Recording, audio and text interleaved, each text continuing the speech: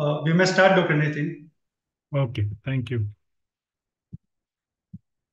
Good afternoon, everyone. Very warm welcome to this uh, pre-conference webinar. Uh, as you all are all familiar, we've got our 11th International Patient Safety Conference 2024 being held in city of Bengaluru. This theme for this year is Futuristic Patient Safety. Um, as we all, through medical school and on our regular work, are aware of this very important principle of do no harm, and that is what is the main purpose of patient safety conference that has been set up for many years now. Uh, during this event, we'll be having uh, proactive uh, discussions. We've got practice sessions just to identify streamlined systems that can prevent patient risk. There are also going to be multidisciplinary sessions, shared views, and enhancing knowledge. I would also would like to uh, invite you to register for your... There are a couple of workshops tomorrow. Uh, today's workshops obviously are done. We've got one on design thinking on patient safety and another one, uh, design, monitor, analyze, and improve, which are the building blocks of safety in our healthcare environment, which we all know is generally a dangerous place where errors can happen. Uh, we also have a webinar tomorrow, uh, which is around human-centered quality. So all our communication, empathy, uh, and those skills will be part of that webinar.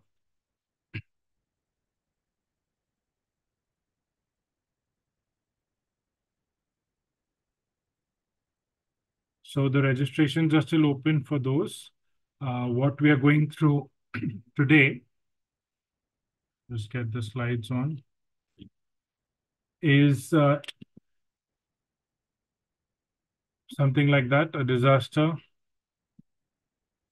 So different types of disasters. So we really don't know when we are working in our healthcare environment, when a disaster would strike, uh, which would be some sort of an accident, which will stretch our resources. Uh, and that prepared, being prepared for those sudden influx or sudden increased pressure on the same amount of resources is what we call as emergency preparedness.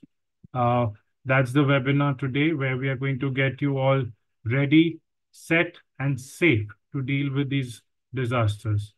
We've got a couple of eminent speakers. Uh, I'd just like to introduce them. Uh, we've got Professor Venkatesh, AN, who is from Bangalore itself. He's a regional director. He's been working for many, many years, over two decades now. He's been part of the SEMI. He is immediate past president over there. And we've also got uh, Dr. Imran Shubhan, who will who is the senior consultant head at Hyderabad Apollo. Uh, he's been executive chairman and chair of the WHO Task Force, uh, faculty for National Disaster Life Support, and also the lead for the disaster response and planning. So we'll have um, Dr. Venkatesh talk to us about various aspects of uh, setting up planning for a disaster preparedness or an emergency preparedness in the healthcare environment. And then Dr. Imran will take us through various uh, drills or other uh, activities, how we can test ourselves so that we are actually, you know, prepared to deal with that kind of an emergency. So I'll stop sharing now and then hand it over to Dr. Venkatesh.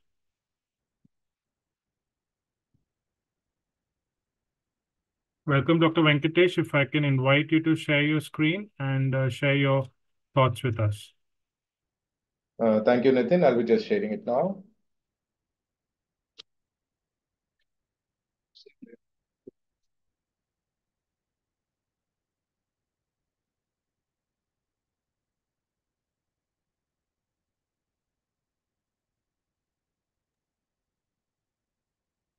Please make your PPT as full screen, Dr. Venkatesh. Yeah. How is it visible? Hmm? Just ask, is it visible? Now it's visible? Not yet.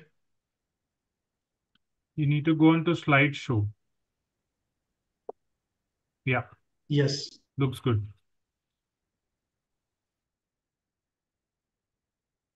Hi, uh, good afternoon to all of you. Okay, so now we are going to talk on the disaster management. So the word disaster, it's derived from the French word des and astre. Des means bad, bad and astre means a star. So nothing but disaster means it's a bad star. As we are all familiar, it starts, the star, if the stars are bad, bad things happen which affect large group of people. When the event is big, affecting a community or a region, it is said to be a major disaster, like floods, hurricanes, or earthquakes. So to understand the topic better, we need to familiarize ourselves with some words like hazard, vulnerability, capacity, and risk, to name a few. What do we mean by a hazard? Hazard is a phenomenon or a situation which has the potential to cause disruption or damage to people, their property, their services, and, and the environment. In the recent years, we hear about different types of hazard like natural disaster and man-made disasters. The natural disasters are the one which we are more familiar, which have been happening since Earth began. As seen here, some of the hazards due to forces of natural, which is a nature are like earthquake, the floods, the tsunami, and thunderstorms. These hazards affect us in varying uh, severity from localized destruction to widespread effects. Now, looking at the man-made hazards, there are hazards due to activities of man, which has led widespread illness or adverse effects in the community like air pollution uh, due to industries and automobiles, causing breathing difficulty in many major cities. Our other examples are improper waste disposal, pollution of water resources, and radiation hazards. Now, looking at the vulnerability, vulnerability means the conditions or sets of condition that reduces people's ability to prepare for, withstand, or respond to a hazard. It is basically the condition which puts person or place at risk of adverse effects from the hazard, like uh, being on the river banks, which will have a risk of floods, being on the seashore, which will have a risk of tsunami, and earthquake-prone areas are vulnerable uh, for earthquakes. These are the conditions lead to worse effects due to hazard.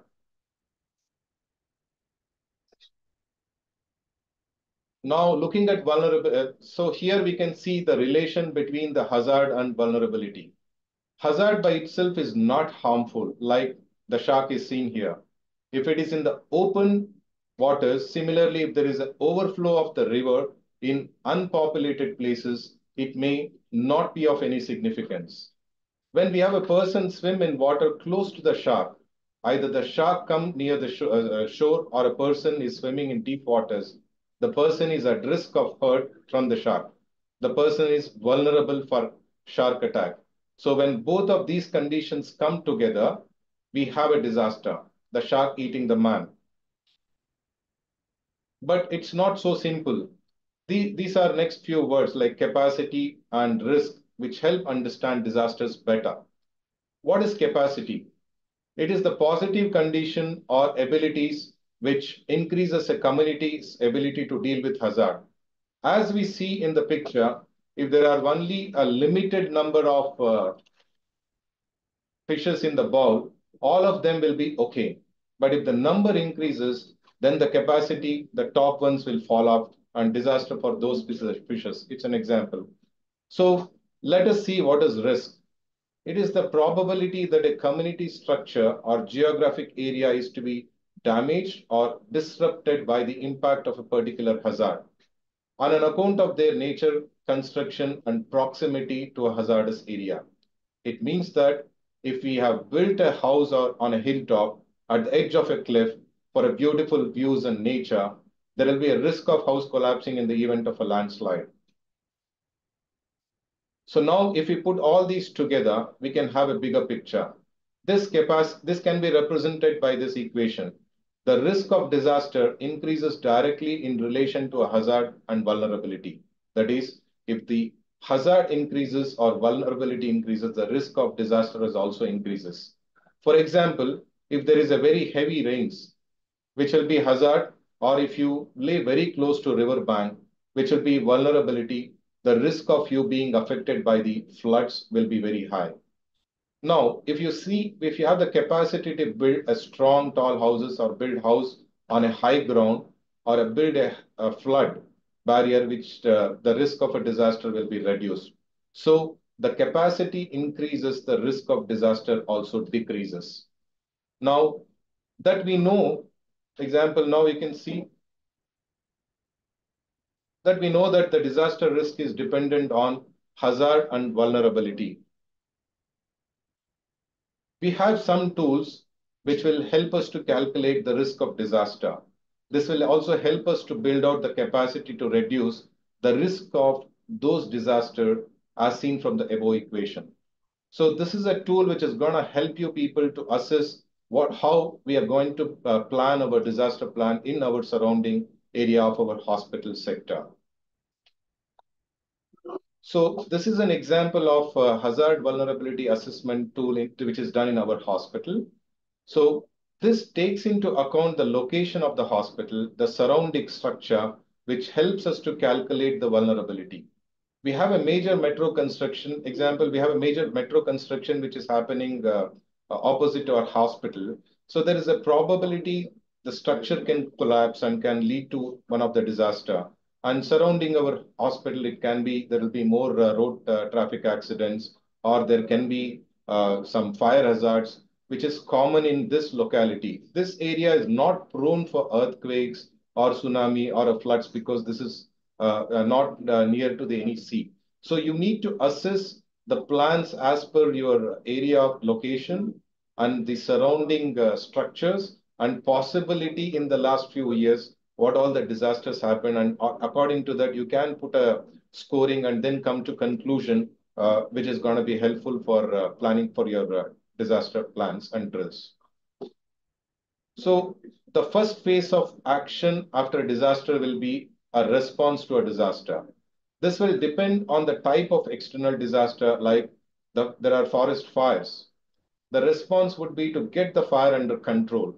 If it is an earthquake, the response would be to ensure safe evacuation of the people and identify people trapped in the debris.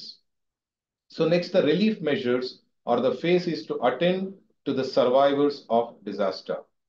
In this phase, we work on the basic needs of providing the food, shelter, and healthcare. Healthcare for the injured and also to work on measures to prevent further infections and communicable diseases. Here we can see some of the other phases following a disaster, that's recovery, rehabilitation, and reconstruction. As the relief measures are ongoing, the recovery phase starts. This is a part where we understand the process to restore the uh, disaster level. So uh, the rehabilitation is a crucial part of recovery. The rehabilitation has many aspects like rehabilitation of health, the home, the economy, and community as a whole. So many times rehabilitation may be a temporary arrangement. The reconstruction phase uh, uh, is the one in which we work for rebuilding and repairing the damages due to disaster. So we have two words, rehabilitation and reconstruction. So you can see in this uh, pictorial, the rehabilitation is a temporary repair to the damage due to disaster. While reconstruction is a complete process and sometimes more time consuming than a rehabilitation. So the next phase is the preparedness and mitigation phase. In this phase, we work towards preparing to face the oncoming uh, disaster and also to minimize the adverse effects due to disaster. As we see here, wearing masks during the COVID times was an example of preparedness to be able to continue to carry on with day-to-day -day living while facing the danger of infection. So in the next picture, we see construction of a riverbank enforcement to mitigate the risk of flooding. So prevention is the next phase, like we see the picture where there is a, there are medical camps to prevent the hazard of a communicable diseases and use of widespread awareness and preventive measures. So this is a representation of a disaster cycle showing all phases in disaster management uh, uh, cycle. So in the example of a flood disaster, the picture we can see measures taken in preparedness during the event of a flood, like spreading the news, having enough storage of uh, home of essentials, having adequate helpline numbers, etc. The mitigation factors would be building flood barrier and building homes at a higher level than the water. So the prevention measures example will be like construction of dams, which can control the water flow and help to prevent the floods in low-lying areas. So if we see some of the number, there were only 39 natural disasters recorded in 1960, while this number has increased 10 times to 396 in 2019. Just from 1990 to 2019, in a span of 20 years, there were more than 9,924 disaster, natural disasters recorded. So it goes on without saying that as the number of disasters are increasing, so it is the number of casualties from these events. In 1980, the approximate uh, cost for disaster is $50 billion, which has increased fourfold to $200 billion in the uh, last decade. So in uh, 1980, uh, so you can see the number, how it is increasing and the preparedness, how we have to plan for this. So this is a graphic representation of uh, disasters across the world in last century.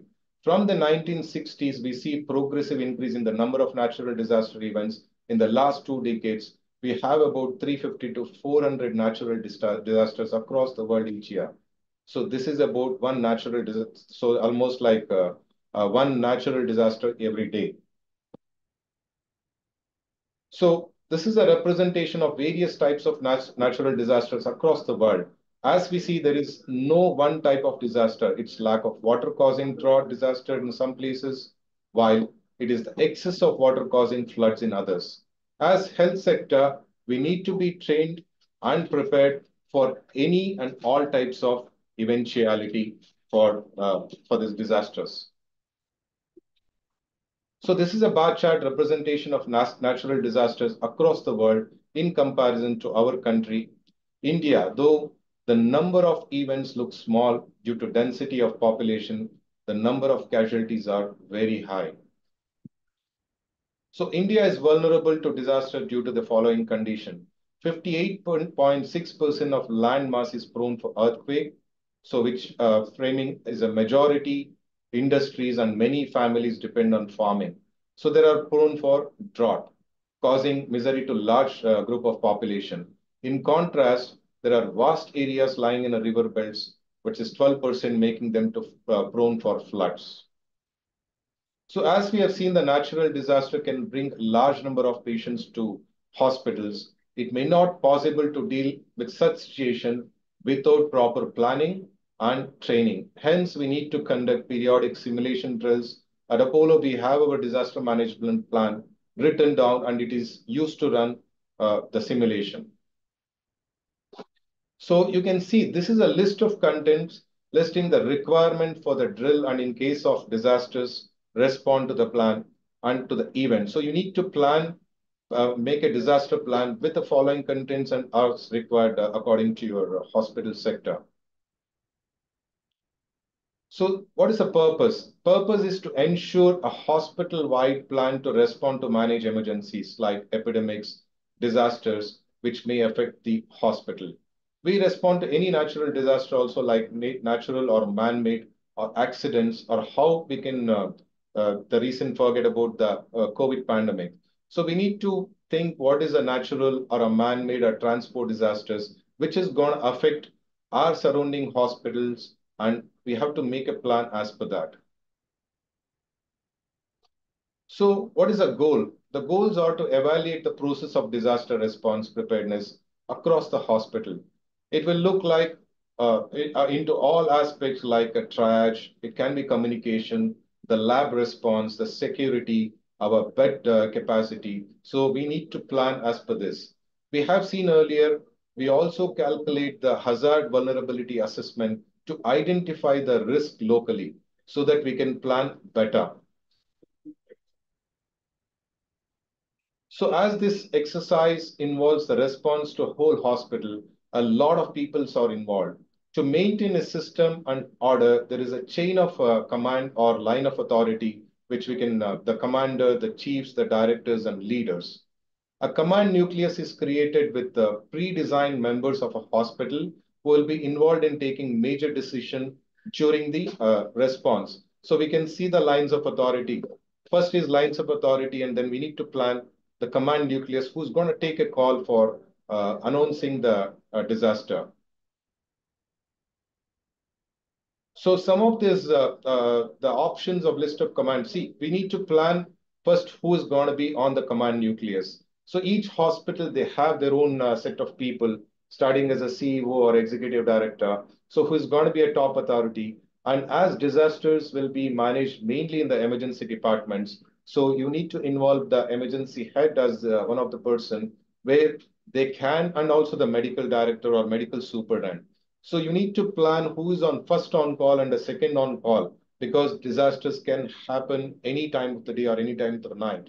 So first plan, and this requires the whole set of people in the hospital, starting it can be the nursing or logistics, safety, security, the emergency department, the ICUs, your uh, ancillary services, radiology, uh, billing. So marketing, everybody should be planned and you need to put who is on first on call. And if there is no, uh, you're not able to connect. So you need to plan for who is second on call. So this is a list like you need to just make a list with their mobile numbers or speed dials, whatever options, and keep it ready right now so that everyone should know where it should they should be contacting whom.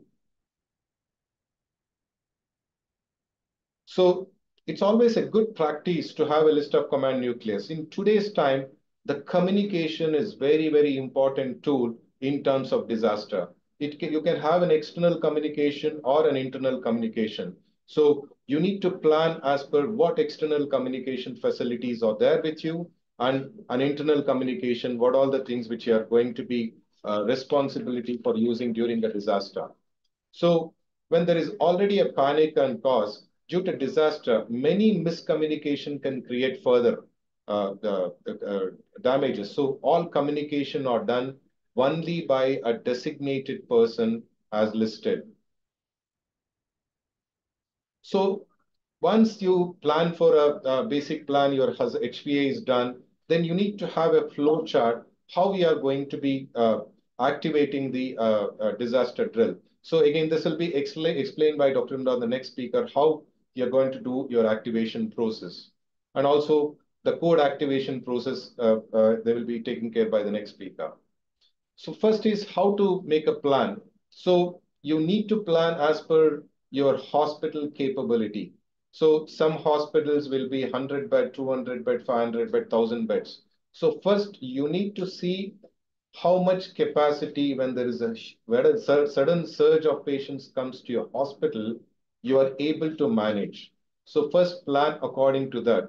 So in our hospital, we have divided into category A, category B, C, and D. So first we divided into if there are 10 to 20 patients, we will take it consider as category A if it is 21 to 30 B and 31 to 40 C and more than uh, 40 is D. So in our hospital, we have a capacity of uh, catering maximum around 40 patients when sudden surge of uh, patients come into our hospital. So this has to be planned as per your uh, emergency department, your daycare center, or your ICUs, or and your OT capacity. So you need to plan as per this, then only you need to go for the next. So some hospital can cater only 20 patients. So you divide the plans. And number two is you need to plan when you are going to announce a disaster. So it can be like code red or whatever the codes which you uh, plan in your hospital. So like if there are four or five patients, which is your routine, which they come, you don't require to announce a disaster. So you need to plan. So in our hospital, if more than 11 patients come, we plan to announce a disaster because it requires a lot of support and manpower across the hospital for coordinating. So we have, you need to plan a schematic diagram. If there are, in a plan A, if there are 10 patients or 15 patients come at a time, you need to plan where you're going to create a red zone, your yellow zone, your green zone, and your black zone. So you need to plan as per uh, the schedule. So if there is, here you can see a, a diagram here in the plan A. So we have divided uh, where is going to be the uh, uh, red zone. It's in the emergency department and also yellow zone inside the ER. As it is completely full, we planned the green zone into the cardio cardiology area where outpatients can be seen and the orange zone. So initial, when the patient comes, you need to plan how we are going to triage. So that will be with your orange zone. So first triage the patients and send them to appropriate area. If the patient is very critical and triage one area, send them to the red zone area. If the patient can, and it has to be treated immediately. So if the patients are with the yellow zone where it can be waited uh, for a doctor's or other investigation for 45 to 50 minutes or an hour, you can send them to yellow zone. And if you, the patient is stable enough where it can be seen even in one or two hours later, as an outpatient, it can be sent to the green zone. And if there is any patient is deceased, you need to send them to the uh, black zone or a mortuary area, whatever facility you have. So like that, you need to plan and also you need to decide how many junior medical staff you're going to put here, your housekeeping, your nursing, your executives, how many stretchers are required, your wheelchairs are required, how many disaster kits, which is filled with uh, uh, medications, you need to decide, and then you need to plan according to that. So this is as per the plan C and again the uh, plan D. So likewise, the number of uh, expected, whatever the numbers, you need to decide how you are going to plan and which area is going to be decided because it's very important. You need to plan before the disaster drill is announced so that you can demarcate the area and make it a color coded so that even if the emergency doctors are busy, anybody who look at the color code, they can easily plan uh, for shifting to that uh, particular areas. So there's a few examples where the drills are being done. You can see the ambulances are coming, how it has been managed in the pre-hospital care. So next you need to decide how the protocols are being done in each area. So what is your protocols in uh, the orange zone? Uh, orange zone is typically a triage area. So they are triaged and shifted to the respective zone according to their triage category. So executives will collect the demographic uh, details and the patients will have a tag. You need to create a tag, ID tag, which will reflect if it is to be shifted on a red zone or a yellow zone or a green zone or a black zone. So by looking at the uh, uh, color, they will be shifting to that particular uh, triage area. So some patients was dead, then you can be making them with a uh, uh, black zone, black tag, and which can be shifted to the mortuary area. So what are the protocols? So red zone we consider mainly as uh, who need immediate intervention to save a life or a limb and secondary to uh, secondary survey shall be done the responsibility of the receiving units so your immediate life-threatening events to be tackled in the uh, uh, triage area and in the red zone, then you can shift to the particular area where they will go with a secondary survey and you need to continue. So the primary survey is very important and life-threatening emergency should be managed. And you need to plan what basic investigations you are going to be doing there and need to basic areas like informing the blood bank, informing the OT. So these all should be planned in the red zone and should be manned documentation, important documentation should be managed. And later, if there is a road traffic accident or any other disaster, medical legal documentation is mandated, which can be done later. So next coming patients who are injured and need medical attention, but not critically injured and shifted to this zone, which is not, which doesn't require immediate care, but can be seen little later.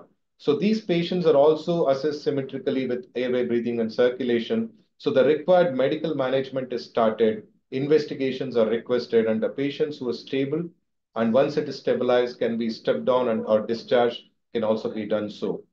So here there are patients executive who would maintain patient records and update the command as required. So this is a zone what we call is walking wounded.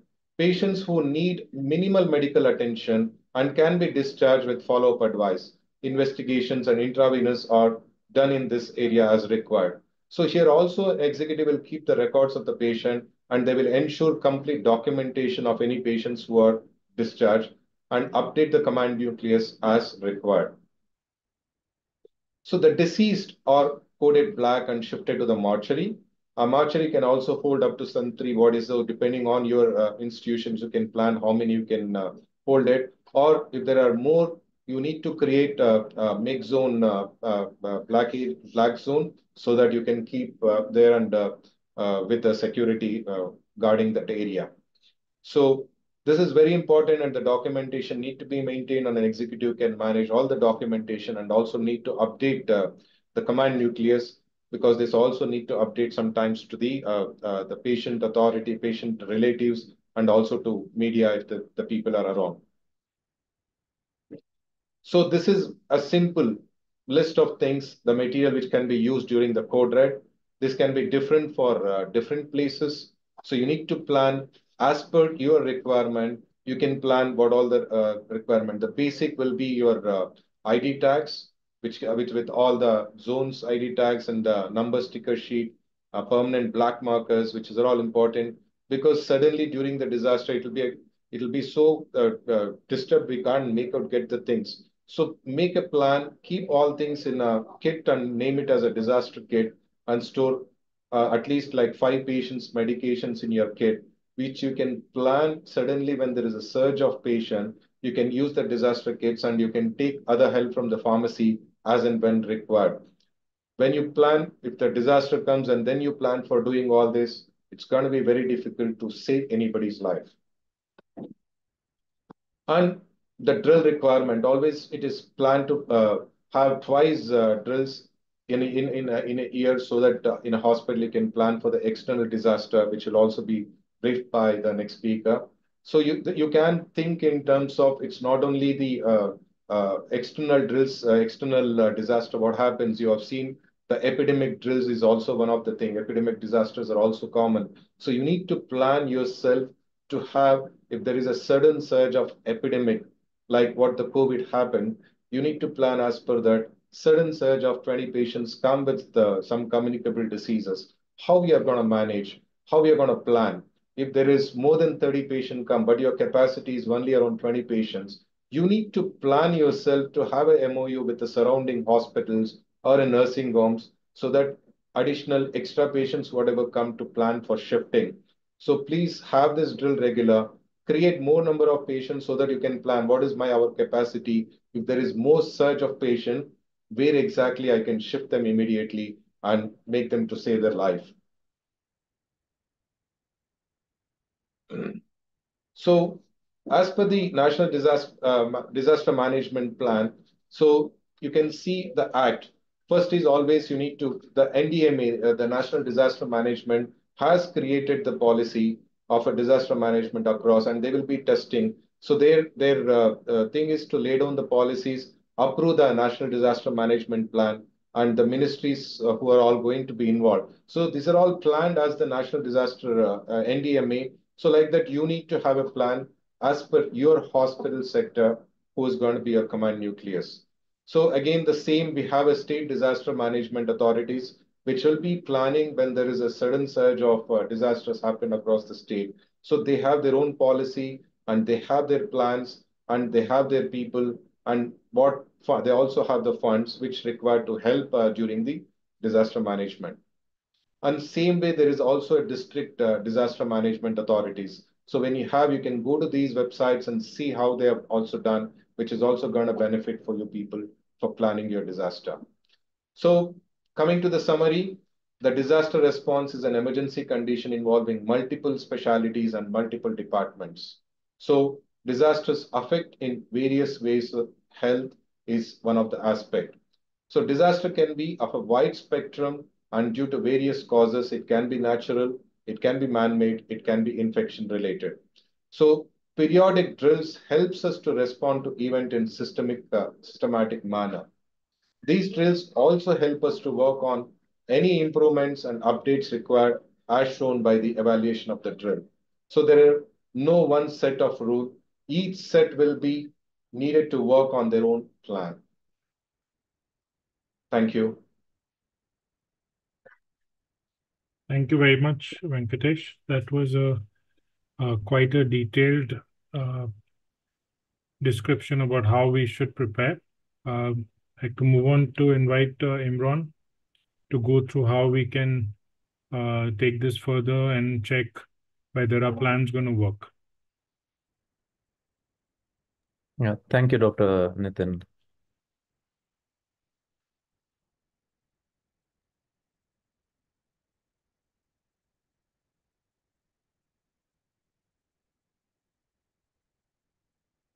Uh, everyone can see my uh, screen, hopefully. Yes. Yes. Yeah. Uh, so I'll just uh, give you a short uh, summary on how you test your disaster plans. Um, normally, it takes a, a couple of days to help people understand how to test their whole capacity. So it's very difficult to put it uh, so quickly, but I've done my best to uh, give you a summary so that you can understand. Um, back in a few years ago in Hyderabad, our our doctors team they did a survey across uh, the entire Hyderabad city on how many hospitals had disaster plans. So almost all said yes out of the approximately 30 hospitals which we had uh, surveyed. And uh, we asked them, can you show the drill copy? and only two were able to show, which was one was our hospital, the other was the command hospital, which was present. So usually disaster plans are always on paper. They are not produced properly. They are not uh, implemented properly. They are not tested properly. So testing your disaster plans is very important. Uh, if there is a disaster, God forbid, for which your hospital is unable to handle, it is immediate destruction of the brand. So the impact of mismanaging a disaster is, is quite huge. Both individuals as well as the company itself will be put down and it's very difficult to recover from it. So uh, we right now I'm assuming that all who are listening are part of uh, uh, very well developed hospital systems where they have these disaster plans in place.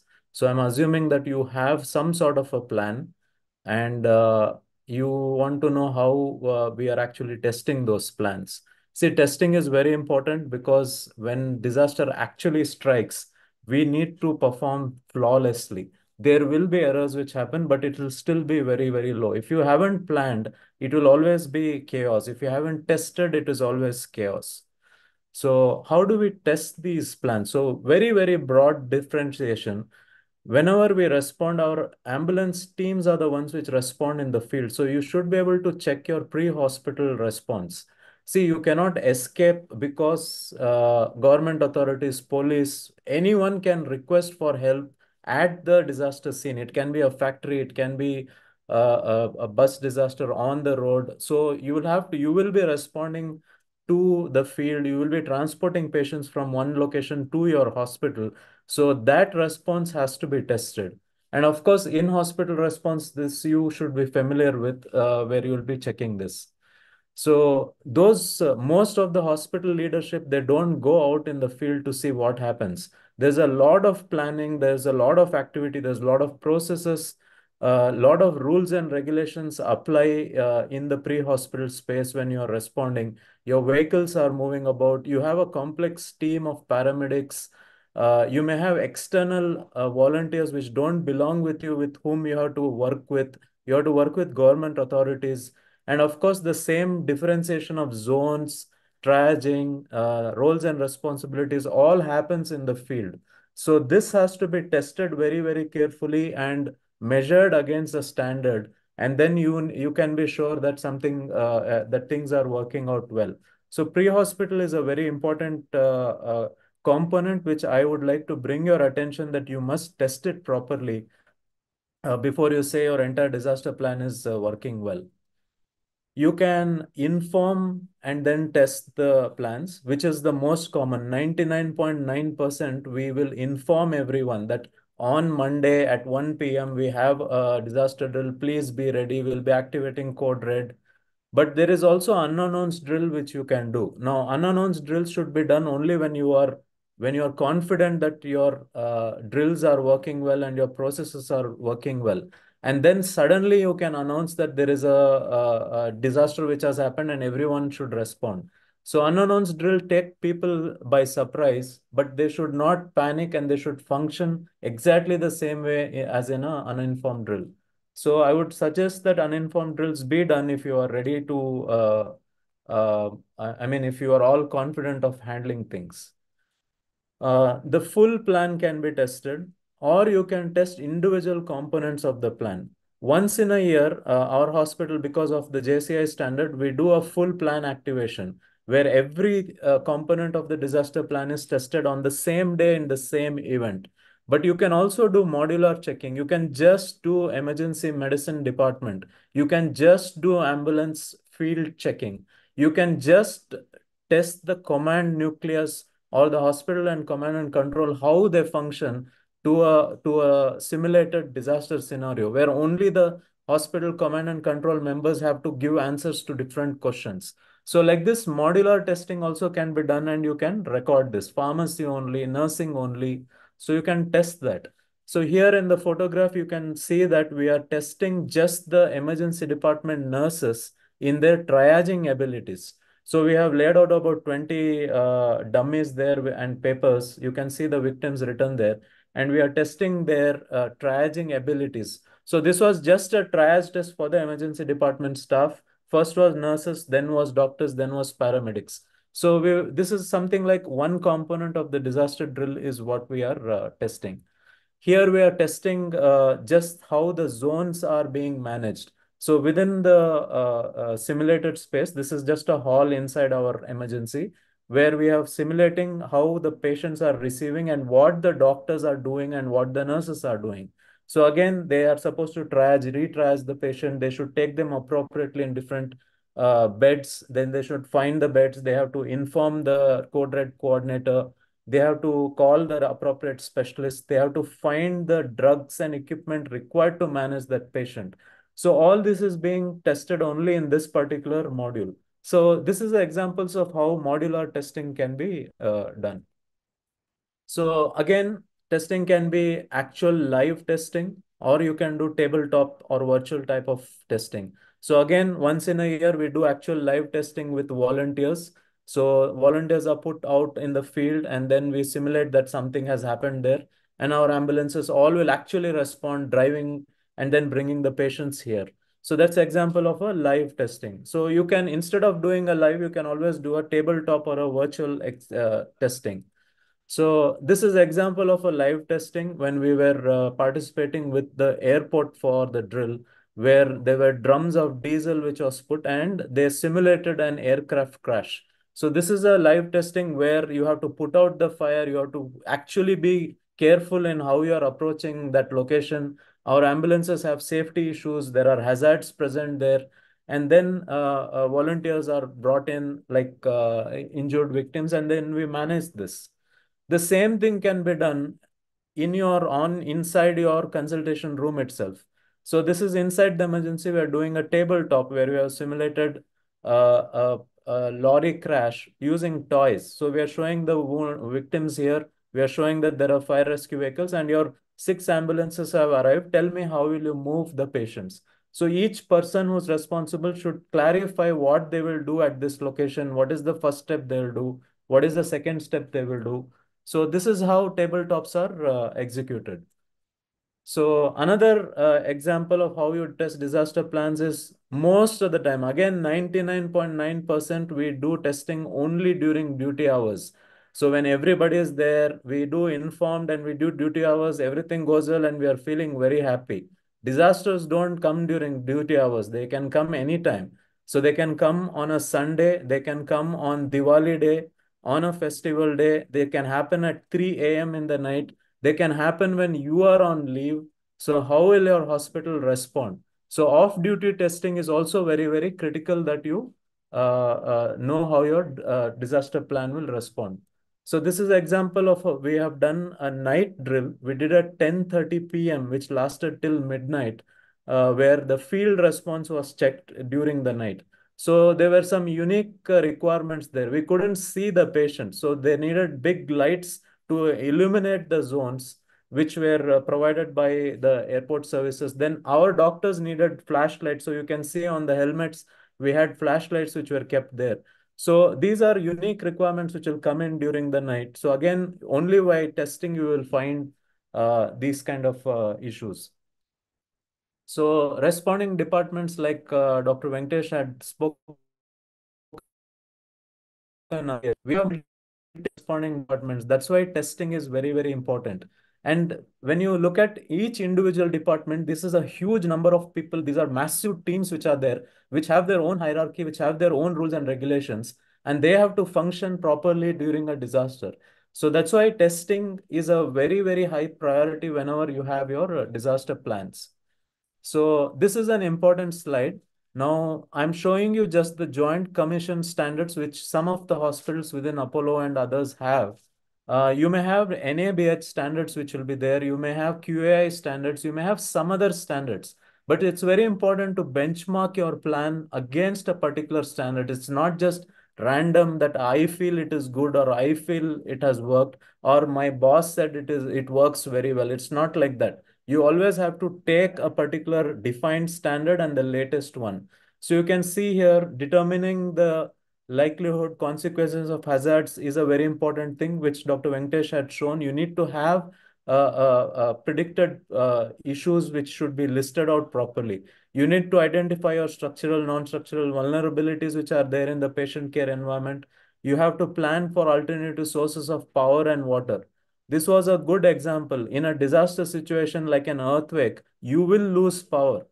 You will, you will, your water sources will get disrupted because the roads are damaged. So how long will you supply your patients with water and power? So it's an important question. And then determining hospital role during disaster. What will your hospital exactly do? What is that which is defined clearly? What are your communication strategies? How do you manage your clinical activities? Again, is an important standard. Identifying staff roles and responsibilities. And uh, one of the unique ones which is inside JCI is when a staff is unable to work during your disaster, what will you do? So if if I have to cannot work in the hospital during a disaster and I have some other thing to attend to, so what happens at that time? So these are the definitions.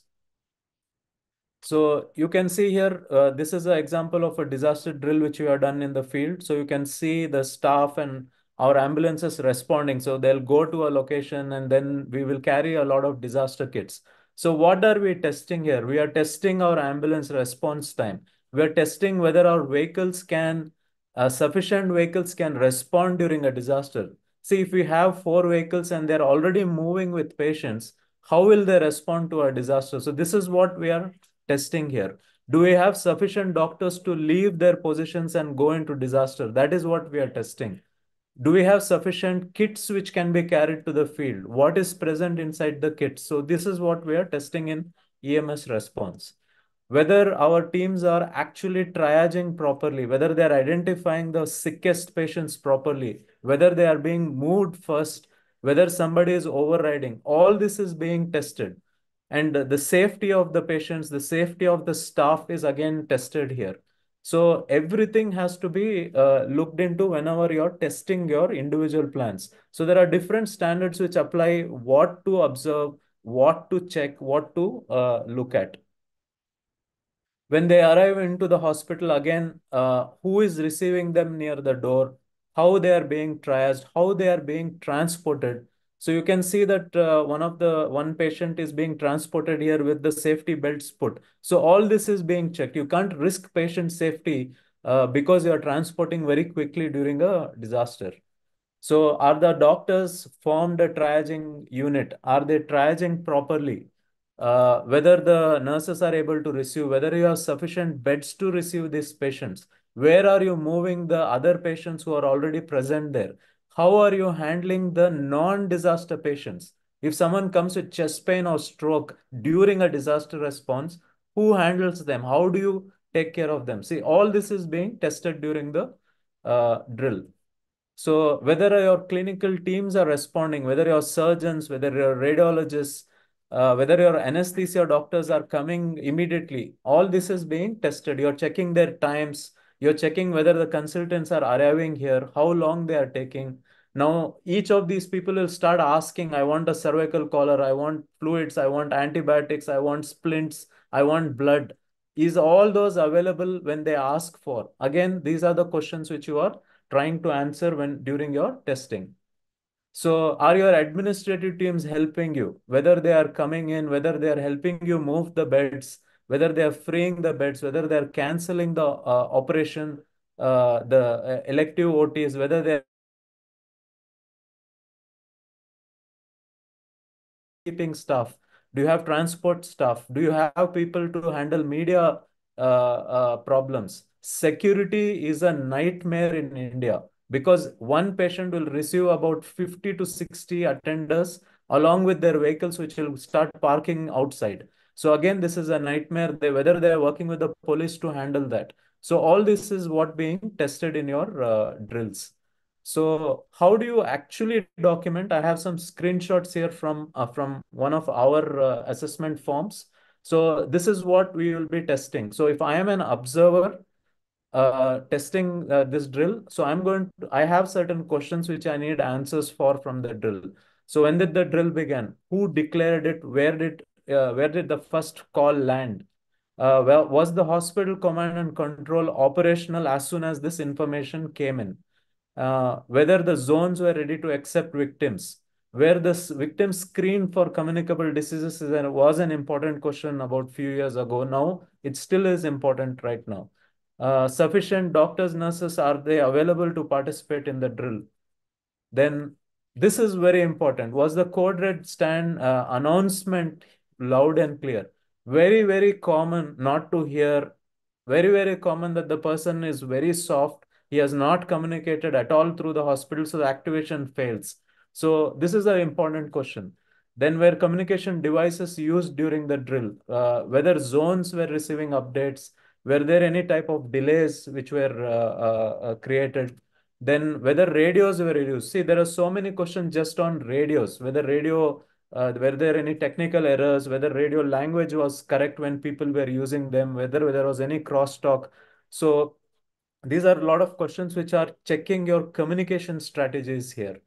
Um, then whether sufficient number of doctors were available uh, to respond during the drill, whether nurses are sufficient, whether social workers arrived in time, whether our kits were available, oxygen cylinders, drugs, then food and water. So these are specific questions which the observer, if you or me are observers, we have to spend some time to understand what is exactly going on before we answer yes or no to this question. If we feel oxygen cylinders were insufficient, we have to write there that they were insufficient and our supply was compromised due to certain things. And what did the team do when they identified that there was lack of resources? So this is how the questions go on. Uh, PPE, alternative sources of power, uh, water, all these things should be checked. Now, for example, alternative source of power, how, how do I check is if I'm going to tell that, uh, I'll tell the maintenance manager that there was no power. So how long does your generator run on? So they'll be able to tell me the hospital can run on this generator for so many hours. Then I ask them, where is your fuel and how long your fuel uh, su supplies are there to run this hospital. So, and I write down there. So this is how you have to identify uh, uh uh, uh, weaknesses in your uh, plan. some more questions, eye protection, personal protective equipment questions. If there is an infectious patient, whether they were isolated, yes, no. So these are some of the questions. Uh, was there any kind of problems with the admitted patients, whether ICU beds were available, uh, whether the patients, the other patients were explained why chaos is going on, because you're going to throw out all your existing patients and to free the beds. So you have to give them information who is taking responsibility for all those things. Uh, where overcapacity plans available. Dr. Venkatesh spoke about overcapacity plans. So again, that is an important uh, component which needs to be tested. So did all the departments, all areas respond correctly, whether security and others managed everything properly? Did all the staff uh, know their roles and responsibilities? These are the things which will come out in your uh, uh, end of the drill discussion and debrief meetings. So, uh, and I pointed out that if any staff is unable to perform duty, uh, what solution was available? So we always simulate a couple of staff who will tell that uh, my family is affected with this disaster and I cannot work here. I have to go there. So when they leave their positions, how do you uh, what did the HR do or what did the code red coordinator do with such a problem? So again, these are all documentation. So this is the example of how questions will come during your testing, and this is the official document which you have to uh, fill. The end of the day, we are trying to find out what went wrong, what scope for improvement, and how to fix the problems which we have found. So some of the examples of uh, real life findings which uh, we have handled here uh, is the failure of announcement. Our ceiling speakers were not working properly. Uh, some departments could not hear. For example, OT could not hear, pharmacy could not hear uh, the code red announcement. So those things had to be fixed. The first uh, vehicle which went to the field, they did not communicate how many uh, victims were present and how many were arriving. So failure of communication of the disaster was a, a real problem which we found. We frequently face issues related to triaging. Triaging errors happen continuously. Uh, sometimes patient get missed. The patient was there in the field. He was in the ambulance, but we don't know where is he in the hospital. So we tend to miss out on patients because of the high uh, intensity flow. So that is a very common thing. And uh, media mismanagement is again a very, very common problem where media uh, personnel get in and they don't know what to do. They have free hand in the resuscitation area, taking photos, videos, talking to everyone, which must be restricted uh, because of patient confidentiality. So these are the examples of uh, uh, testing. So I hope I have given you a good uh, overview of how to test drills uh, your plans. So I hope you would go back and start reviewing what you have already done and uh, hope that uh, you can test them a little more uh, so that they are uh, in perfect situation. So thank you so much for listening. Um, thank you very much, Imran. Um,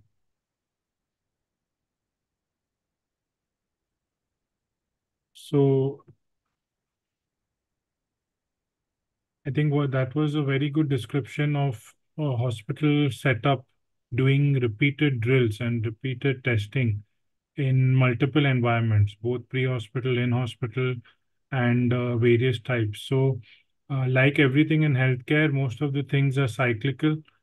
So, uh, we're waiting for any questions in the chat box. In the meantime, I would just like to summarize what Venkatesh and Imran have very nicely described is this disaster management cycle, which uh, you can see on the screen. Uh, there's a preparation phase, which includes your uh, assessment, what risk you're likely to face, what is the probability, and that is how you'll design your plan. You'll create that plan. You'll train people how they'll respond. And then if you're unlucky, you will have an event or you create your own event, which is what we call a mock drill. And then we test our response. Uh, we test our recovery uh, which was again demonstrated very well, and mitigation factors, and we evolve that plan again. So whatever we have learned from the findings of the mock drill, we apply that, we evolve the disaster plan, and test it again, and the cycle goes on. And that is how we will continuously be prepared. Uh, as you know, there are different disasters at different times. With technology now, uh, lots of things can be very different. Uh, just having a look at the chat box. Do we have any questions?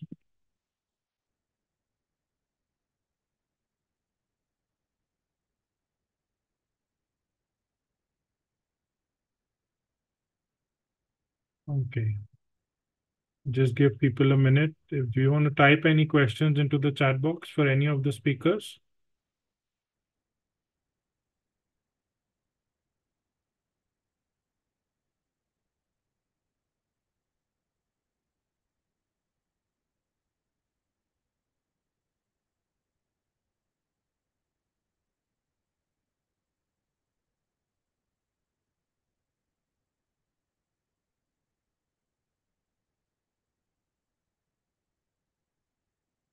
No questions at the moment. So there's one appreciation.